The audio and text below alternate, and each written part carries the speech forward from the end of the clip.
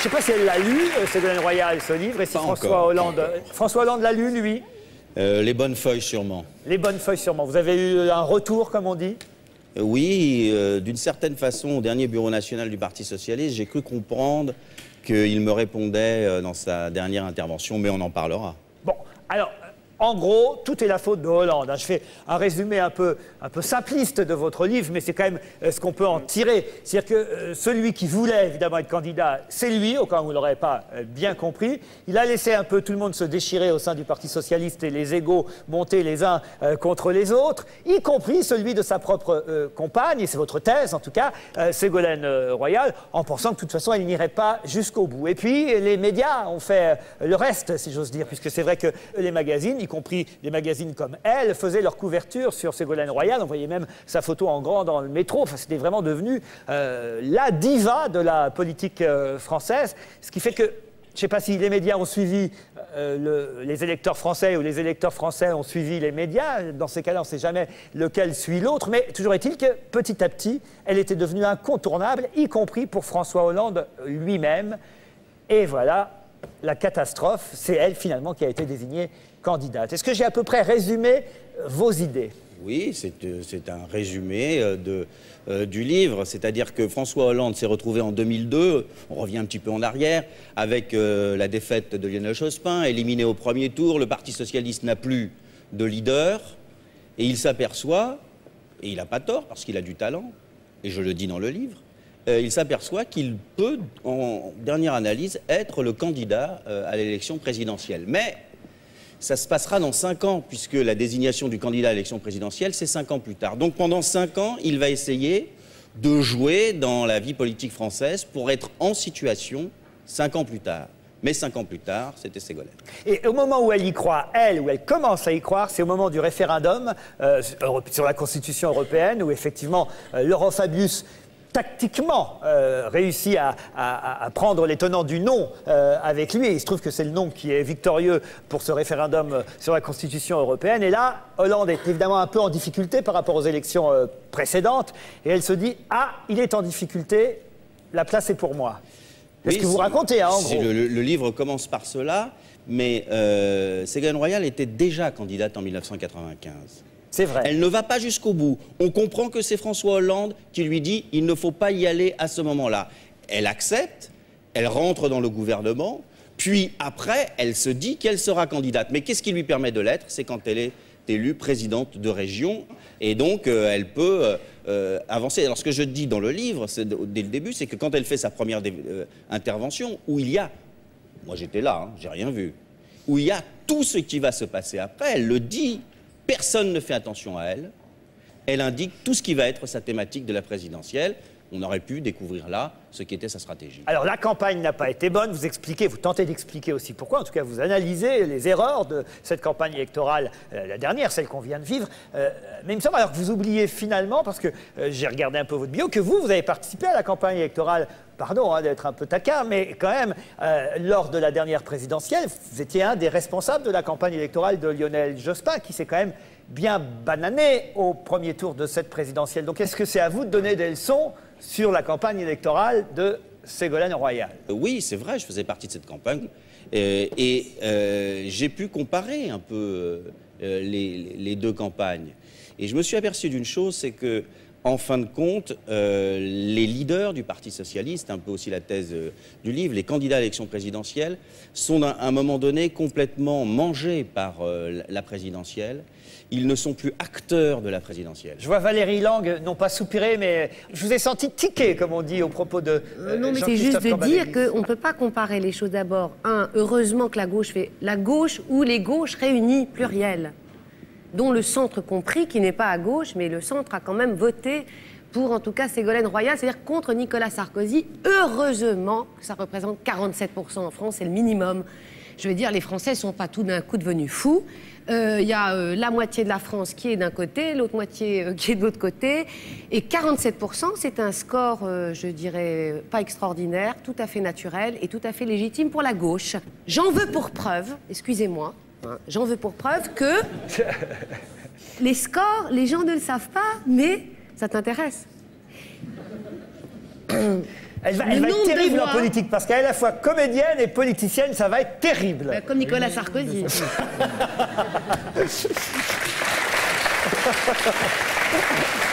Tous les, tous les politiques sont des comédiens. Bien sûr, c'est pour ça que Bon j'ai ou fait- mauvais. Je veux dire, bien sûr. Alors, donc, 49,5% de voix pour la gauche aux élections législatives. On ne le dit pas assez. Au deuxième tour. Là, mais c'est énorme. tour. hein.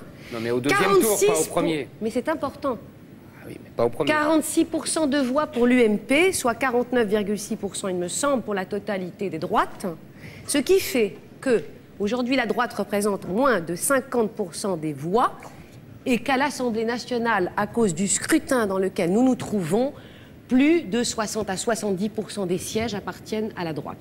Ça veut dire qu'on n'est pas véritablement dans une Ce démocratie. que j'aime, c'est qu'elle a déjà les trucs des vieux politiciens parce Ah que bon elle Pourquoi parle du deuxième tour en faisant mine de croire que c'était les deux tours. Bah, il y a eu un recentrage et le recentrage, vous savez ce que c'est? Oui, mais ça s'appelle. Parce que le là, moi, je défends tour. mon candidat, Mais c'est là, au normal. premier- Vous savez le recentrage, c'est un a- appel au centre des Au Français. premier, non, c'est faux. Si. Au premier tour, il y a eu Ils ont 100 voté pour près de 100 19% de députés Français. élus au premier tour. C'est ça qui change tout. Vous avez oublié ça. Mais comment vous expliquez ce recentrage? Il y a un type de gauche et il y a 100 députés élus au premier tour de droite. Alors le bouquin de Cambadélis, on y revient. Zemmour pour commencer. Euh, vous avez dit tout à l'heure, c'est un livre contre, contre, contre François Hollande. Ben, moi, je suis pas du tout d'accord avec ça. Moi, je trouve que c'est un livre à la gloire de François Hollande. Ah oui? Ah oui, faut lui dire. hein. Ben oui, il faut lui dire. Il faut lui dire parce qu'il a rien compris ici. Parce que il ne parle que de François Hollande.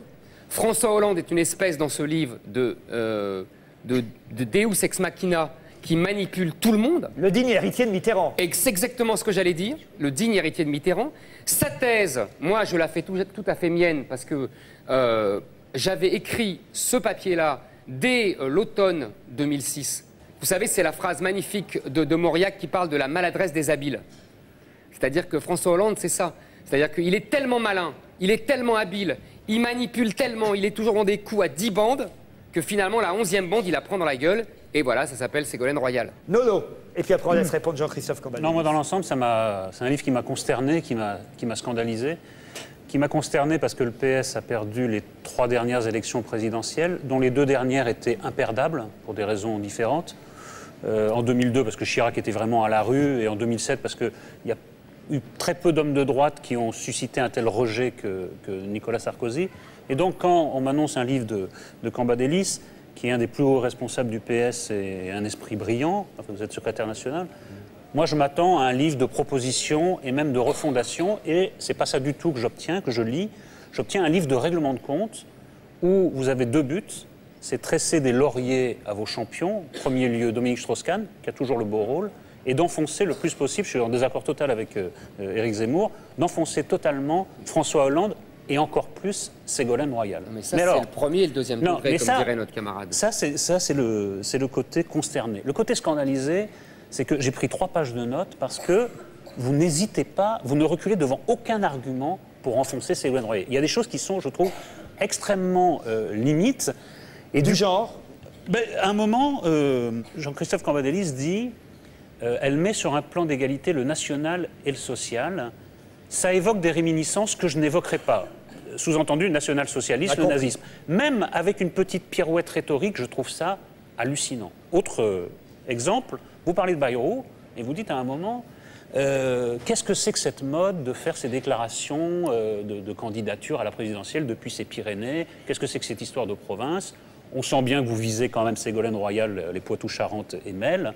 Bon, vous dites, est-ce que c'est parce que la France, cette France-là ne ment pas? Donc, vous les accusez un peu de pétainisme. Je trouve que là, vous allez vraiment trop loin.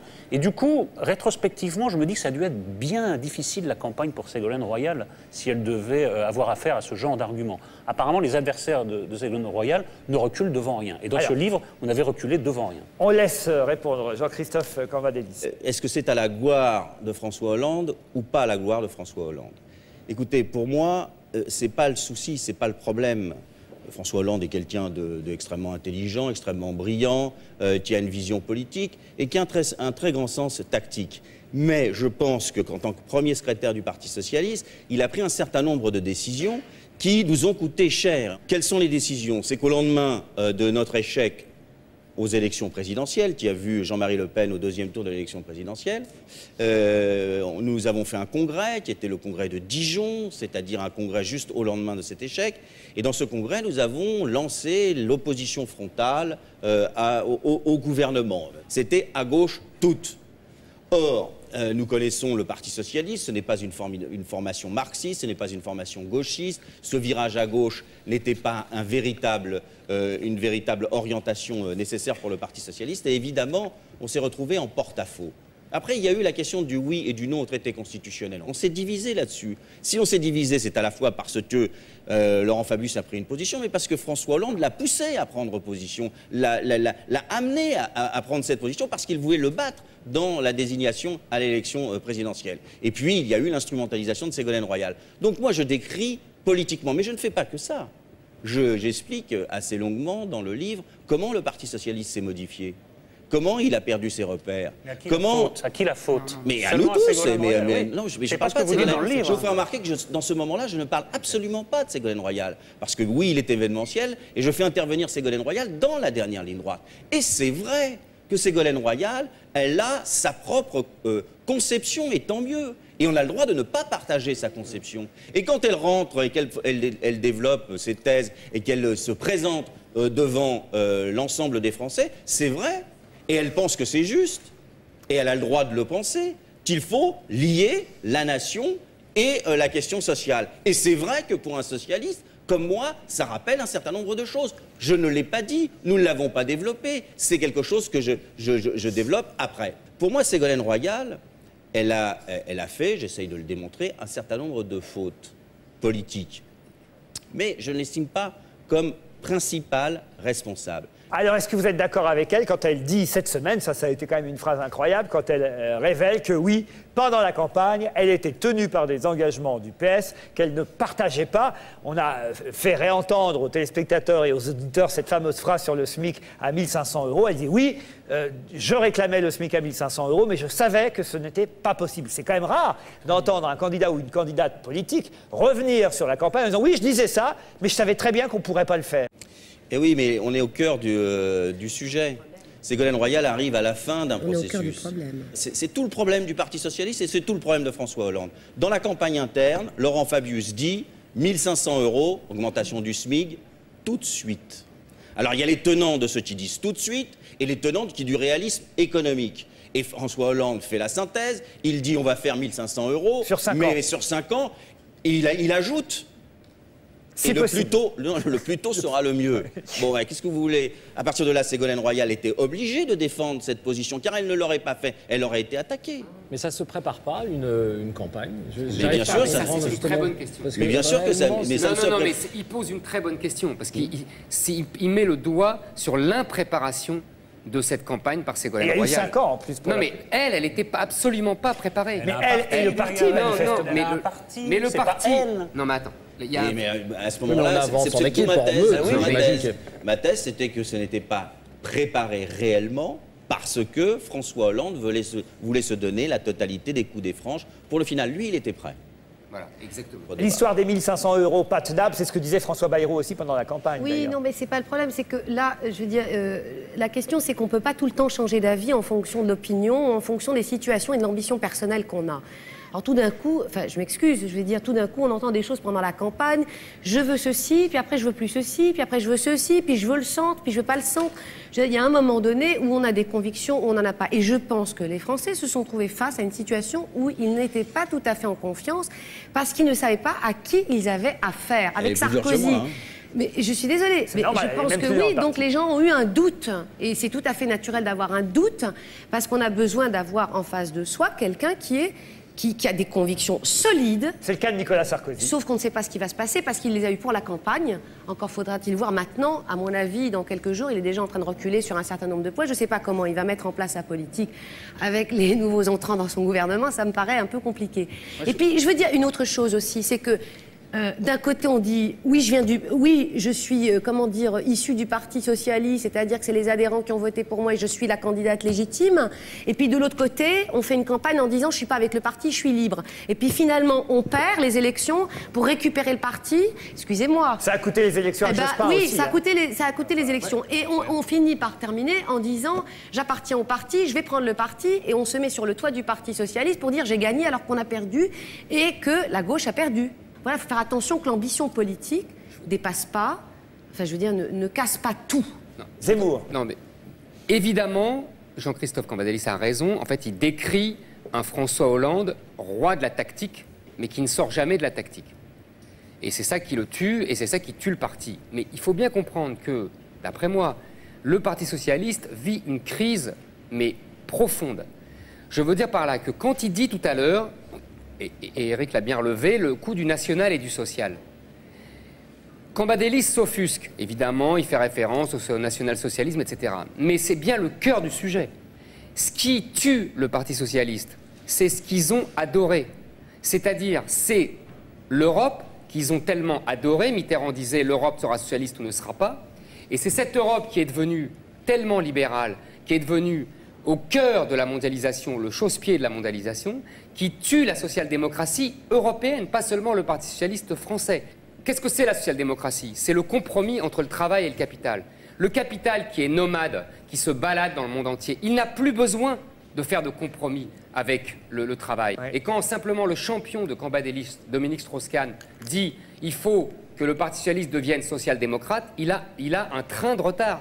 Parce que la social-démocratie, elle est morte. C'est un désaccord Ah. de fond, Oui. c'est-à-dire Bah, qu'il pense mais- que la nation peut protéger de la mondialisation. Je non, suis en non, non, désaccord. non, non, il faut non, simplement dans le cadre européen, il y a une idéologie dominante qui domine tous les autres États européens, qui est que la mondialisation, avec le, le- le- qui fait pression à la baisse sur les salaires, par les, les salaires euh, des, des Chinois, des Indiens, etc., ou même, euh, et ça nous mènera aux sans-papiers, etc., des immigrés qu'on fait venir pour faire travailler dans le bâtiment, etc., c'est fait pour faire pression à la Brice baisse Hortefeux sur est les même d'accord pour les faire venir, hein, on l'a lu cette semaine. Eh oui, mais c'est évidemment, évidemment, parce que ça fait partie. Le, le patronat du bâtiment et autres veut faire pression à la baisse sur les salaires. Juste une chose, je vous vois mal parti quand même, parce qu'on a vu ce qui s'est passé là, entre les deux tours euh, des législatives. Euh, on a des gens comme Dominique Strauss-Kahn et même Ségolène Royal et d'autres qui auraient tendance plutôt à aller vers le, centre, euh, donc on va dire vers la droite de la gauche, hein, pardon de dire ça. Et puis même Arnaud Montebourg qui dit, voilà, c'est fini le temps, le soir de sa victoire, hein, même s'il est passé de justesse, mais voilà, il a réussi à, heureusement pour lui, à remporter le deuxième tour dans sa circonscription, Montebourg. Et il dit, voilà, fini le temps des éléphants, voici les jeunes lions euh, du socialisme, vous l'avez entendu tout comme nous. Sauf que, euh, voilà, euh, quand même, qui finalement a rattrapé quelques sièges à gauche entre les deux tours, et ça s'est passé le soir du premier tour, C'est. Laurent Fabius, c'est un éléphant, celui qui était le plus à gauche de la gauche, qui a dit Et votre TVA sociale, ça va pas euh, coûter plus cher à tous les Français Et d'un seul coup, Borloo a fait la gaffe qu'il ne fallait pas commettre. Il n'a pas dit Non, non, il n'y aura pas de TVA. Voilà, il n'a il a pas su quoi répondre. Et c'est ça qui a fait gagner Montebourg. C'est ça qui a fait gagner, pas vous, parce que vous, à Paris, vous avez été confortablement élu, mais d'autres qui ont été élus de peu. Alors finalement, c'est Fabius qui a raison au Parti Socialiste. C'est sur ce terrain-là qu'il faut aller. C'est ce que vous venez de dire qui a fait perdre aussi la gauche. C'est-à-dire cette attitude qui consiste à montrer aux Français un spectacle affligeant de gens qui disent que la rénovation, c'est les jeunes lions. C'est-à-dire, je ne savais pas que la rénovation, ça se passait par l'âge et pas par les cerveaux. C'est-à-dire que quand on est jeune, on est brillant, et quand on est vieux, on est con. Donc c'est extraordinaire. Déjà, ça, je pense que, je pense que ce mépris, ce mépris affiché, Mais vous savez, à droite aussi, on joue à mais ça. peu non, alors la force de Nicolas Sarkozy, même s'ils se détestent entre eux, parce que ce que décrit Cambadélis, ça se passe dans tous les partis. sûr. Bien sûr, et encore pire même, je pense. encore pire. Il y a même des poisons qui doivent être versés, etc. Encore pire. Je dis simplement la différence, c'est que quand tout d'un coup on est candidat d'un parti, on a la responsabilité de rassembler, quel que soit ce qu'on pense de ses anciens ennemis ou de ses ennemis, parce qu'il n'y a pas pire ennemi que ceux qu'on approche elle de soi. pas fait. C'est ce que n'a pas réussi à faire Ce que je veux dire, c'est que, par exemple, quand Arnaud Montebourg, il sort des élections et qu'il peut faire chapeau à Laurent Fabius et chapeau aussi au Modène qui lui a donné quelques voix.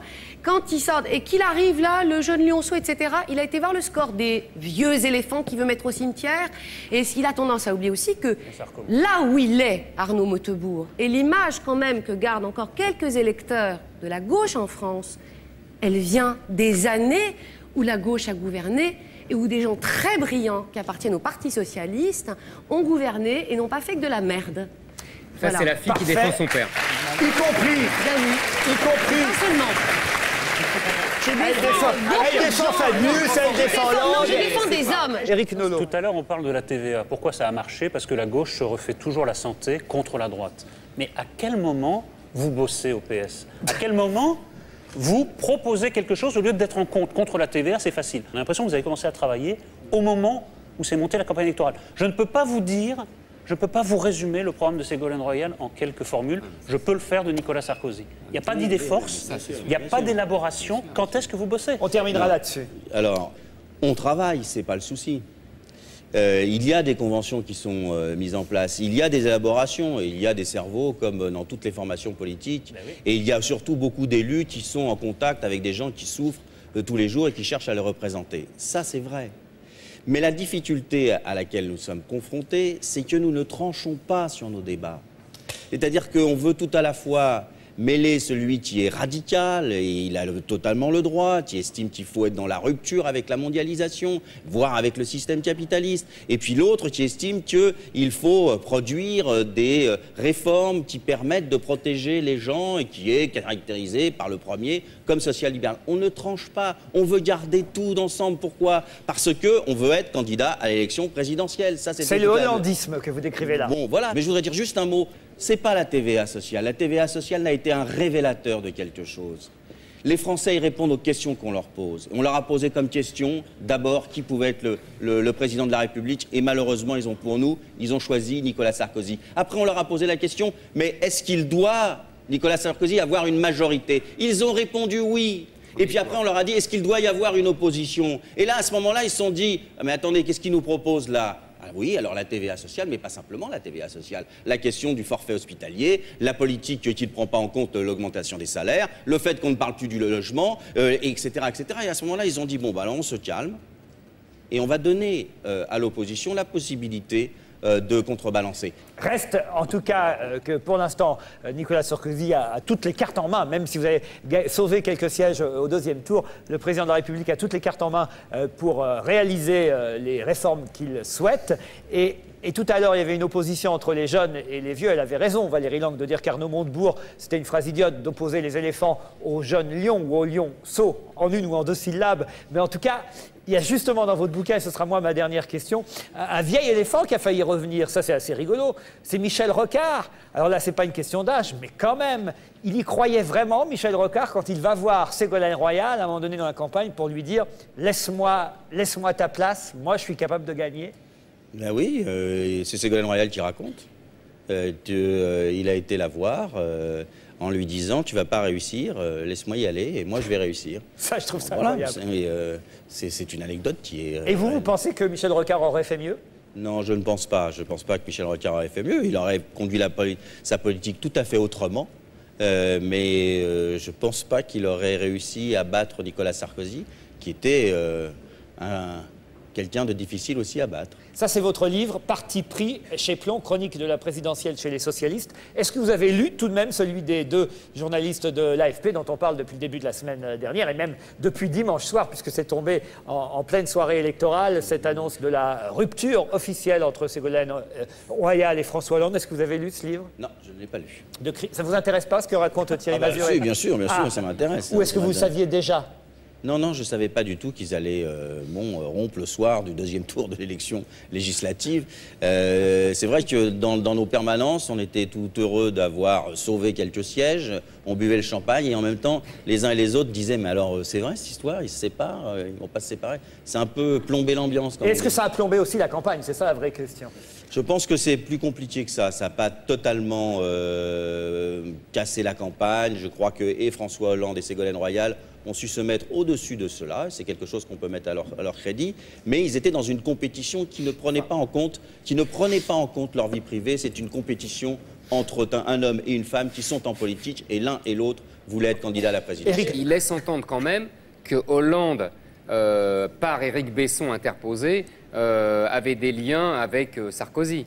Euh, que autre chose, apparemment ça. Ça Besson n'a rien à voir avec Ségolène connaissait. Ah, si, si, si, c'est intéressant quand même. Parce qu'il a l'air de dire que Hollande n'a pas tout fait pour euh, s'opposer à Sarkozy, qu'il n'a pas monté le tout sauf Sarkozy entre les deux tours de la présidentielle comme il aurait dû, et qu'il avait intérêt à ce que Ségolène Royal perde. Moi, j'ai compris ça en, Alors je me suis mal exprimé, mais euh, c'est pas c'est pas ce que je voulais dire. Je critique François Hollande qui a toléré le sachant que euh, Éric Besson ait une relation téléphonique et épisodique avec euh, notre principal adversaire. C'est des choses qui euh, ne doivent pas euh, se faire entre formations politiques.